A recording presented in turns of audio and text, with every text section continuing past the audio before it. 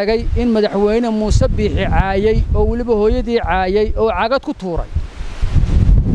Waxaannu ka dharagsannahay iyadana in wasiirka khaarijiga wasiirka daakhiliga uu meel madala ka lahaa hadalla runtii gefa oo ah tuug tuugudhasho baa tiin mas'uuliyiinta xisbiga qaranka ee kulmiye qaar ka mida oo weliba xukuumadda ku jira ayaa waxay kala garan waayeen cidda talada maamulaysa dalka maamulaysa gacanta ku haysa. Waxaad arkaysaa iyagoo runtii khalkhalay oo leh ha laga badbaadiya dalka waddani. Kayf. Dalka ma kulmiyaa maamulaya xukuumaddiisa mise waddani baa maamula? Waxyaalahaasoo dhan waxay tilmaamayaan rafashadii iyo foolxumadii. Dankooda ka soo jeeda oo ayagoo mucaaradka difaacaya aflagaadooda waxa weeyaan qarandumis wixii xukuumadda xaggeeda ka soo jeeda ee ummadda aflagaadaynaya iyagoo xukuumadda difaacayana iyaguna waa mujaahidiin weey. Caqligaa diidaya taas wax la aqbali karayana maa yaabay maayirkii caasimadda cabdikariin axmed mooge oo dhallinyartii mudaharaadaysay kala dejinayey oo xaalad wanaagsan ku jira isagii sudaanka guuduba in rasaas nin askari ih hoos ugu dhigay. Waxay ahayd in asaga la xidhay ahayd kaa in la xidhay ahayd laga bilaabee suldaan daakir xasan khaliif oo ka mid a madax dhaqameedka waaweyn ee somalilan oo si gaara ula hadlayay warbaahinta fifa midiya ayaa waxa uu cambaareeyey xadhiggii loo geystay. Cismaan cumar dol oo ka mid a mas'uuliyiinta xisbiga mucaaradka ee waddani geesi kalena waxa uu fariin u diray komishinka doorashooyinka qaranka ee somalilan. Waa kan isagoo arrimaha iyo arrimo kale ka hadlaya kolley waxaad mooddaa maalin walba dalkeenna iyo dadkeenna inay wuxuun ku soo kordhayaan. Oo runtii waxaan wacnayn oo wanaagsanayn ay mar walba imanayaan. Waxaan runtii rabaa inaan kelmaad ka idhaahdo siyaasiyiin ama siyaasi ka mid a madaxda xisbiga waddani oo madaarka ka soo degayey oo danihiisa u yimid oo lagu xidhay kolley waxaad mooddaa ama u muuqataa arrimo runtii aan dadku dee waaqiciyan aanay runtii dadku ay aad iyo aad uga falceliyeen. Aflagaadada iyo cayda sharcan wa caqlan midna ma wacna. Ilaahay subxaanahu wa tacaalaana ma jidaynin oo waa xarimay.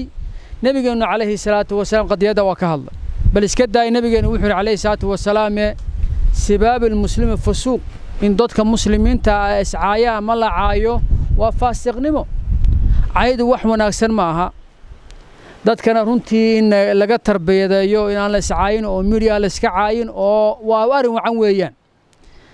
Laakiin waxaa runtii cagsi ah oo la yaab leh haddii madaxdii qaranka oo mas'uuliyadda ugu weyn saaran yihiin inoo bilaabaan bahasha sidee lagu xidhi karaa bini'aadmi kara markaa oo lagu odhan karaa? Idinkaa ma garanaysaayee dad badacaydan ama cay lagu xidhi karaa qof. Waan ka warhaynaa wakhti aan fogayn guddoomiyaha xisbiga mucaaradka ee ucid injineer faysal cali waraabe. Wuxuu social mediya ka sheegay in madaxweyne muuse biixi caayay oo weliba hooyadii caayay oo cagad ku tuuray.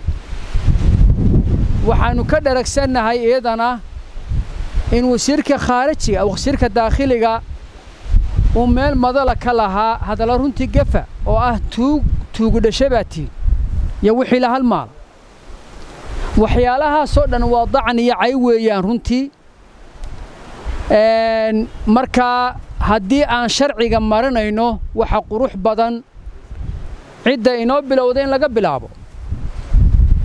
Saasayna ku qurux badan taha waxaa kaloo la yaab leh dad iyaguna ama salaadiin ama ma garanaysaa waxgarad ama reero aflagaadeynayana si qiimalaha loo soo dhoweynayayo halyeey qaran baa lagu tilmaamayey oo mujaahidiin baa lagu tilmaamayey taasina laftigeedana waa foolxuma weeyaan. Haddaba ciddii mucaaradka dhankooda ka soo jeeda oo ayagoo mucaaradka difaacaya aflagaadooda waxa weeyaan qarandumis wixii xukuumadda xaggeeda ka soo jeeda ee ummadda aflagaadaynaya iyagoo xukuumadda difaacayana iyaguna waa mujaahidiin weey. Caqligaa diidaya taas wax la aqbali karayana maa xukuumadda cadaalad baa looga baahan yahay. Waxaa looga baahan yahay runtii inay dee maalmaha u hadhay inay rafato maaha waa inay runtii si wanaagsan oo milge leh wax u maamulaan. Waxaa maqlayey xisbi xaakimka iyo xukuumaddaba iyagoo leh xisbigeennu yaanu noqonin xisbi waxcaaya waxaan u malaynayaa qabyaaladda aflagaadada xisbiga kulmiye weliba. Intan dambe cid uga ma garanaysaa farabadani ma jirto. Oo cid runtii uga dheerayn badan ma jirto. Waxyaala la yaab kala arkaysa waxaa ka mid a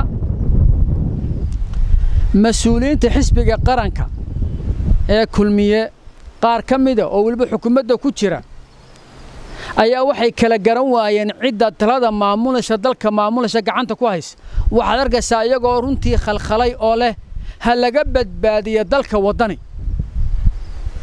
Kayf!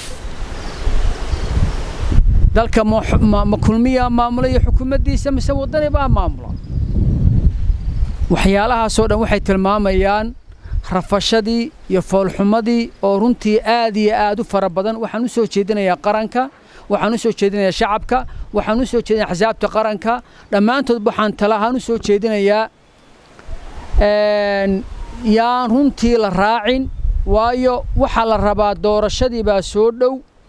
Wixii doorashada lagu burin lahaa wixii lagu khalkhalgelin lahaa wixii dhibaatooyin lagu samayn lahaa oo dhan baa la rabaa in la sameeyo waa in cagaadhu ku haynaa waa in sifa sharciya wax ku raadinaa waa in la isdejiyaa saasay quruxda iyo qaayuhu ku jiraan oo runtii lagu gaari karaa doorasho haddiise la isla qasto oo say wax u wadaan loola wado waxay noqonaysaa murankeedii iyo isqabsigeedii iyo wixeedii bay nala noqonaysaa marka inaga laftigeennu waa inaan runtii aad iyo aad cagaadhuka ugu dhignaa oo runtii aan aad iyo aad wax u dejinnaa waxaan la yaabay oo aad iyo aad ula yaabay maayirkii caasimadda cabdikariin axmed mooge oo dhallinyartii mudaharaadaysay kala dejinayey oo xaalad wanaagsan ku jira isagii sudaanka guudiba in rasaas nin askari ih hoos ugu dhigay. Waxay ahayd in asaga la xidhay ahayd kaa in la xidhay ahayd laga bilaabee.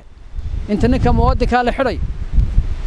Dadkaa dalka hagaajinaya in ma garanaysaa ayay u bareerhaya ee rasaasta ku tu waxaan u baahannahay in xaaladda san wax laga bedelo xukuumadda talada haysaa waa inay ku soo noqotaa miidaanka caadiga ah waa inay dalka u tudhaa waa inay shacabka u tudhaa waa inay xaaladdan wax ka beddeshaa si loo gaadho mihnad wanaagsan iyo doorasho fiican loo gaadho waxyaalaha fara badan ee dhacaya waxayna anfacaya maaha halkan waxaan doonayaan kaga faa'iidaysto komishinka doorashooyinka waxaan u soo jeedinayaa hal kelmad. Kelmaddaasina waxa weeyaan kolay hadda doorashadii waad ku dhawaaqdeen ilaahay subxaanahu wa tacaala haydin waafajista ugu habboon oo wanaagsan aad u qabataan. Idinku garsoorayaal baad tihiin doorashada shacabkaas kale ummaddaas kale axsaabtaas kale xukuumaddaas kale dadkaas kale. Idinku waxaad tihiin ummaddii garsooraysa baad tihiin waxaa ladiga baahan yahay cadaalad waxaa ladiga baahan yahay wanaag waxaa ladiga baahan yahay inaad runtii si wanaagsan u garsoortaan waxaan u soo jeedinayaa muranku iyo xaggeena ka bilaabmi waxaanu maqlaynaa haddana runtii aan wanaagsanayn oo soo babaxaya id baa lagu gelayaa iyo kaarhkii baa lagu waxaas munaasib maaha. In lagu bilaabo maaha muran. Waxba inooma hadhin. Bilo yar baa inoo hadhay. Bilahaa yar sidii awalba lagu geli jira ha lagu galo. Dowladdaas ku sidkan ee wanaagsan ee inoo si wanaagsan ha lagu galo. Oo ummadda ha lagu kala saaro. Kolay waan dareemayaa inuu xisbi xaakimka iyo xukuumaddiisuba ay quus taagan yihiin oo dalka ka dhaqaaqeen oo ummaddii ka dhaqaaqday oo aan ciyo dooranayn iyaguna waxay rabaan wax alal waxay ku baajin karaan ama ay middokodhi ku samayn karaan. Taana waa in laga hortagaa qaabkii looga hortagi karaba looga hortagaa oo aan lagu raacin. Ilaahayna waxaan ka baryayaa isagaa qaadire dalkeena ilaahay noo barakeeyo doorasho wanaagsan inoo dhacdo isbeddel khayr qaba ilaahayna siiyo